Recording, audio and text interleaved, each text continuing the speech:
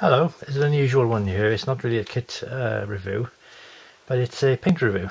Um, so this morning I had the first time I've used Xtracrylix by Hannants because uh, Airfix, in their wisdom, call out a colour, number 233 is it? No, 238. 238. Can you, get the focus? Can you focus? Anytime soon no autofocus. No. Alright anyway it says 238 can you get it anywhere? Can you get it off the Airfix uh, uh, Hornby Humbrol website? No. You can't find it anywhere.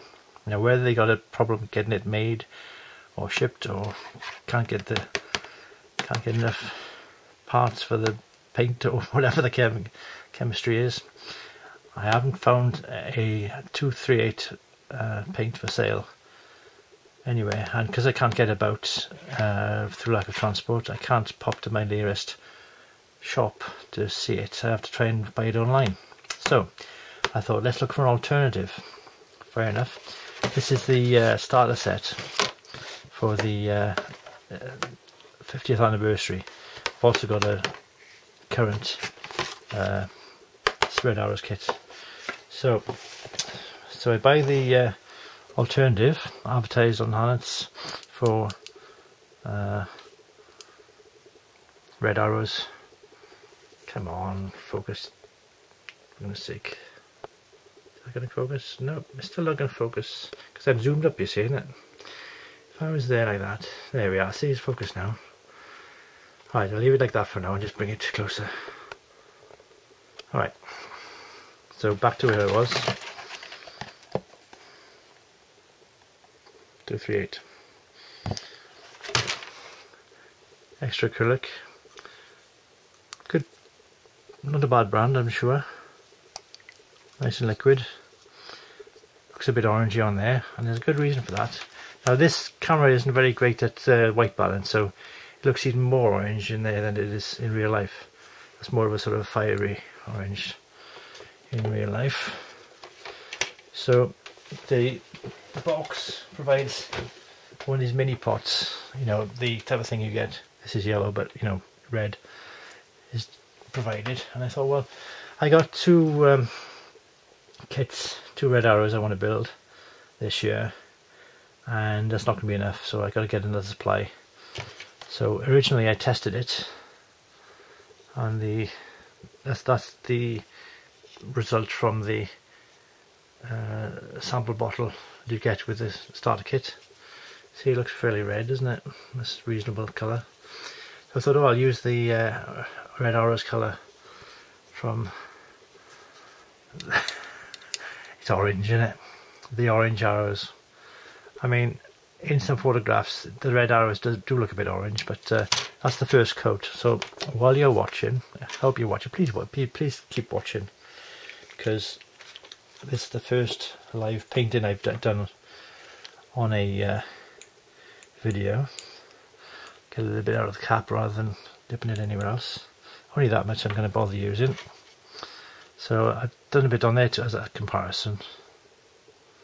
So that's how it comes on. It's quite smoothly, you see my technique as well, it comes on quite smoothly. But again, second coat, and it's orange. Whichever way you look at it. Now maybe in a later day or with another few coats on it'll look more red. I'll have to look at my uh, my photographs to um, see. Now this is how it goes on. Um, just onto the plastic. Don't always uh, put primer down. I very rarely do straight on the plastic, see how the coverage is. That's not bad, I think. Paint that on quite easily. I mean, I haven't even washed this for a sprue, but that's quite a thin coat because nice bit of acrylic. It'll, it'll wash off the brush quite easily too, I think. It did before. Um, so there, I don't know what you want to make of that. Whether it's going to be red enough for my wishes You can see now there's a difference there.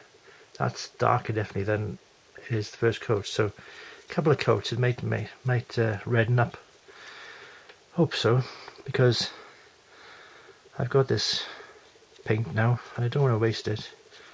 Can't just keep it for the the odd kit with a fire orange but it is at first glance more orange than red um, whereas the actual paint applied has more of a uh, bluish tint, tint than I think it should have. So especially there. So that's the trouble with uh, the spray teams. They have their special colours. I'll just wet with a brush. Get the excess off first. I'll wash this with water. That's all you need with water-based acrylics like this. There we are. A little bit of a example for you I'm still good. I'm probably gonna stick with stick with it because by the time it's uh, see that's quite. I'm gonna look at that that uh, photographs and red arrows may controversially be more orange than red. So we'll see. Thank you for listening and watching and uh, bye for now.